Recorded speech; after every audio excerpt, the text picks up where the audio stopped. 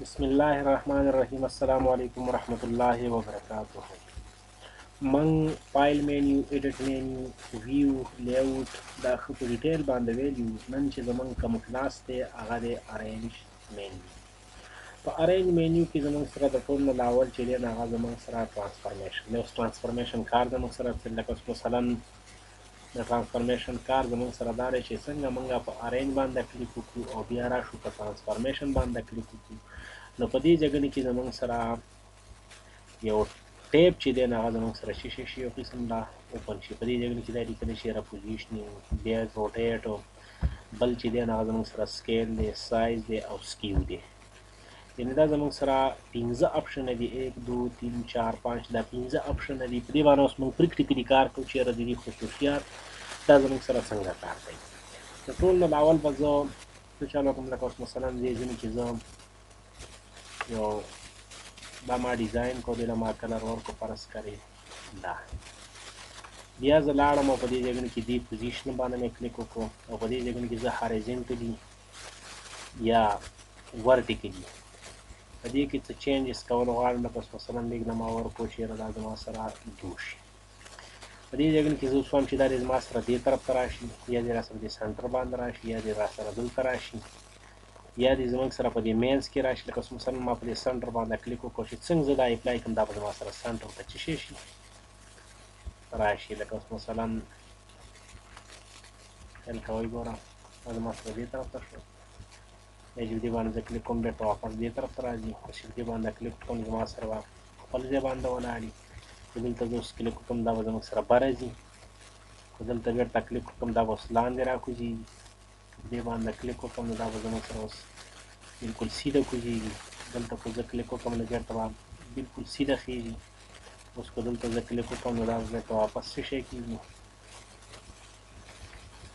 تاسو به راځي یعنې دې ته تاسو خیال کوئ دا زموږ سره څه شی دی د دې هغه پوزیشنینګ دی چې یا د دې نه علاوه زه کنټرول زیډ بیرته واپس وړم چې دا زه غریل حالات ته څه شی کوم بیرته بوځم لکه اوس مثلا دې ځای کې ما یو سرکل جوړ کړو لکه ببل چې سړی جوړوي لکه سوسویه چېرې زه ببل جوړول غواړم او ببل داسې جوړول غواړم چې ما سره په یو لاین کې لکه ایم سی کیوز په شکل کې نو دا اپلای ټو ډوپلیکیټ به وه کنټرول زیډ زمونږ سره دا شو کنټرول زیډ اپلای ټو ډوپلیکیټ بلکل به ستاسو سره په یو سیده لاین کې به دا ستاسو سره شیشه کېږي هغه بل ببل به در سره جوړېږي بیا د دغه نه علاوه دلته بیا کلیک وکړه دا سلیکټ کړه او دا ښکته راکوز کړه د دې یو ډوپلیکیټ جوړه شي کنټرول زیډو کنټرول زیډو بلکل په دې سنټر باندې راکوز کړه بیا بل ډوپلیکیټ هم ته داسې شی جوړولی بیا راشه په دې باندې تاسو کلیک وکړئ او په دې باندې کلیک وکړئ اوس دې ځای کې ډوپلیکیټ کاپي هم تاسو کنټرول زیډ مثلا دا کړئ زموږ سره ګوره بلکل سیده ببلز به ستاسو سره شیشې کېږي هغه به در سره جوړېږي بلکل به پکې فرق نه لکه سړی چې انسیکیوز لپاره څه ببل جوړول غواړي هغه ببل په دې طریقه باندې تاسو جوړولی شئ دا بېرته تاسو چې شی کوي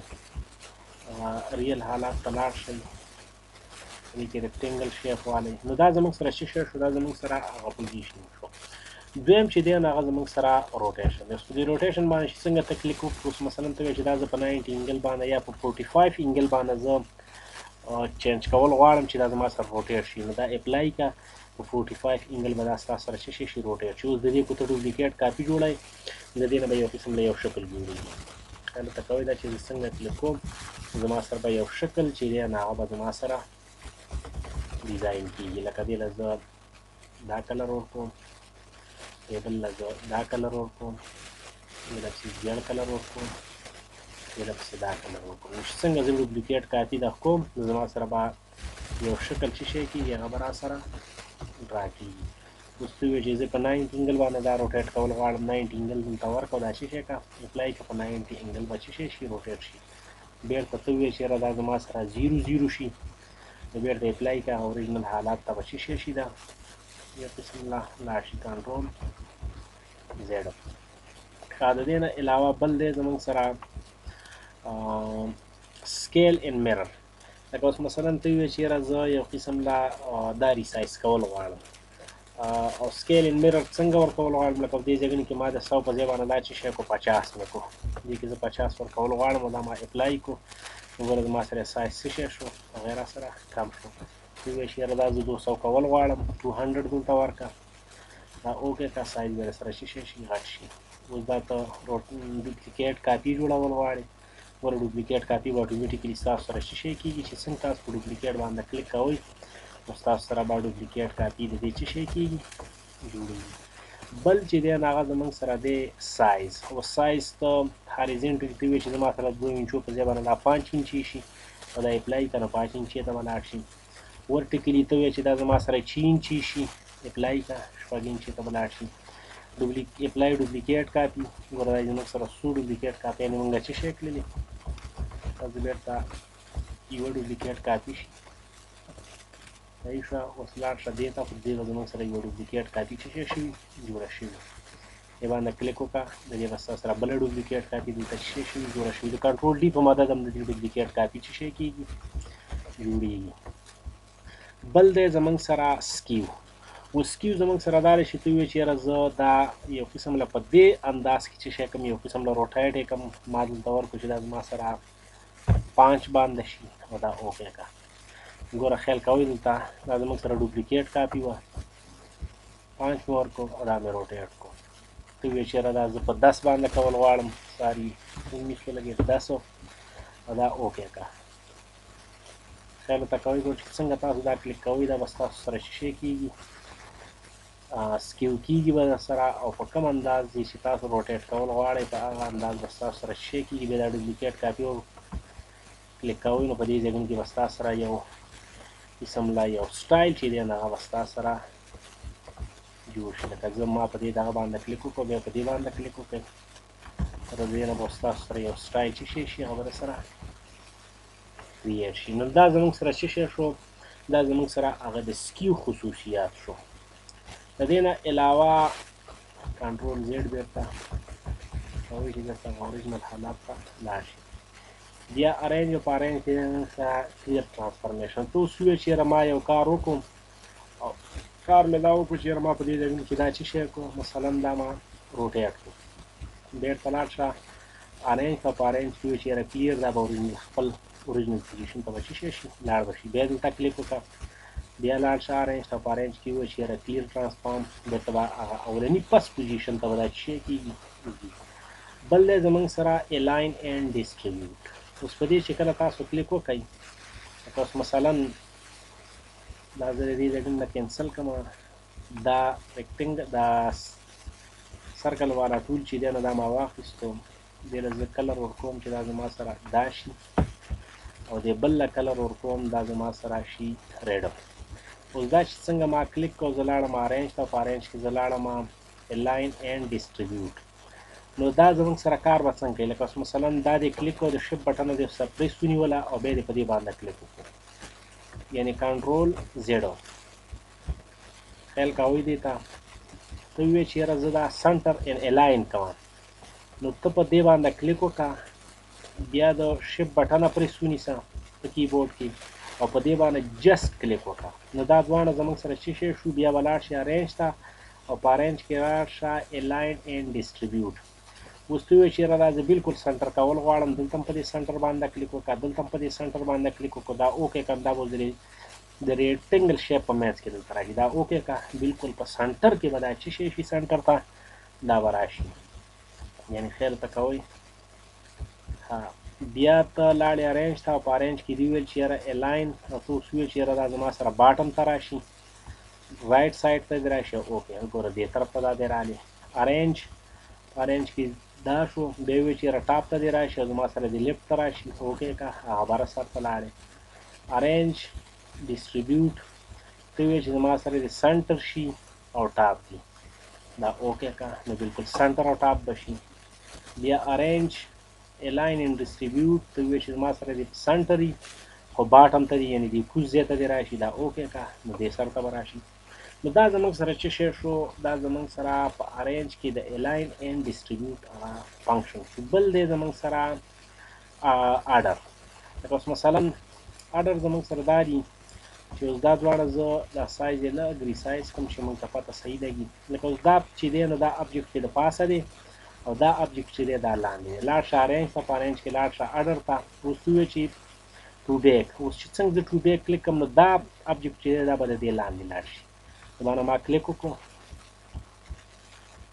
ارینج او ټو پرانټ ګوره اوس پې دا یخته شو دا پې څه شو د پاسه شو بیا ارینج ته ووایه چې یاره فارورډ باندې دې باندې کلیک وکړه ارینج اډر او فارورډ ون بیرته به رامخکې شي اډر او ته وی چیرې بیک ون بیرته به بیک ته لاړ شي یعنی د یو نه بیک کیږي او بیرته فرنت هم راتلی شي بل دی زمنګ سره ګروفو اوس چې کله ته دا دواړه سلیکټ کی او بیا لاړ شي ارینج ته په ارینج کې ته دلته په ګروپ باندې کلیک وکړي نو چې څنګه تا په ګروپ باندې کلیک وکړو خو دلته یو کلیک وکړه ستاسو دا دواړه چې کوم ابجیکټ دی دا ستاسو سره ګروپ شو اټ ا ټایم به دا دواړه د یو ځای نه بل ځای ته مو کیږي خیال هم دی وته ته اوس بیرته ان ګروپ کول غواړي د دې ځګړ نم ان ګروپ کیږي ګور اوس بس تاسو سره صرف دا یو ځای بیرته ګروپ کول غواړي لکه زه غو اوریجنل حالت ته بوز بیرته بوزم دا بیرته ګروپ کوم پر اوس دواړه زموږ سره دا کیږي ارینج او پارینج کې دلته راشه ان ګروپ یا کنټرول یو یا د دې ځګن نه ان کیږي نو ما کنټرول یو یا مې دا کلیک ونه ګوره دا زموږ سره بیرته څه شي شو بیرته ان ګروپ شو به ارینج دا بیرته سلیکټ کا لاړ شه ارینج ته او په ارینج کې وی چې دا زما څه شي شي ګروپ شي ور به ګروپ شو به ارینج او په ارینج کې پیوي چې آل ان ګروپ آل په دې باندې څنګه تکلیک وکي دا ټول بس سره ان ګروپ شي بیا د دغه نه علاوه بل یو فنکشن چې دی نو هغه زموږ سره دی کمباین لکه اوس مثلا دا ما کلیک کو او بیا لاړم لکه یا زه دا کول نه غواړم دې ځای کې زه یو څیز ډرا کول غواړم چې تاسو اندازه وشي یعنې دا ما ټوټو دې ختم کړو دا هر څه بیا لاړم دې ټول نه جبیل کی زه یو چیز ډرا کول غواړم او دلته رالم او دا مې بالکل په دې سنټر باندې کېښوست او دلته نه مې یوه ډوپلیکیټ کاپي واخیسته او کنټرول ډي په مدد باندې ما دا چیشي ساري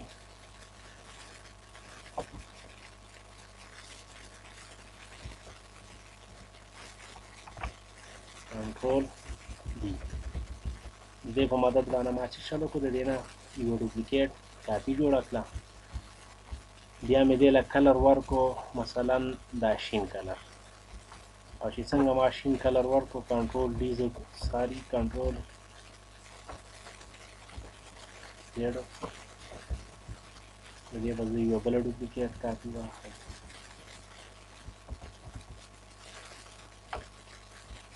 کنټرول ډی ښه دا زمونږ سره څه شی شو یو پول راسه یو قسم را جوړ شو اوس لاړ شه ارینج ته او دا اوس خو دواړه سلیکټ کا او بیا لاړ شه ارینج ته په ارینج کې وه کمباین د دې په دې مینس کې به زمونږ سره یو خپل ډیزاین جوړ شي کنټرول ال په مدد باندې کېږي ګوره دا زمونږ سره څه شی شو یو ډیزاین غوند پکې زموږ سره د دې نه جوړ شو بېرته لاړ شه ارینج ته او په ارینج کې دلته کلیک وکړه یاره چې کمباین کنټرول زیډ دا بېرته ختم کړه چې کنټرول زیډ کنټرول ډي ها زموږ سره یو قسم د پولي یو شکل شو تیله کله وه بیا د ارینج او پارینج کې کمباین په خپل پوره د زموږ سره د پول یو بل شکل شو یعنی چې څنګه ته کنټرول ال یا په ارینج کې په کمباین باندې کلیک وکړي او کوم کلر تا جوړ ډیزاین تا جوړ کړي هغه ډیزاین به اتوماتیکلی ستا سره چې شي شي هغه به سره راشي نو دا زموږ سره شي شي شو دا زموږ سره په ارینج مینیو کې ټرانسفارمیشن پی اف ټرانسفارمیشن لاین انډیسټریبیوټ اډر ګروپ ان ګروپ ان ګروپ او کمباین د دې ځګنې پورې موږ دا کار وکړو د نننۍ ورځې لپاره به دا کار کافي السلام علیکم ورحمت الله وبرکاته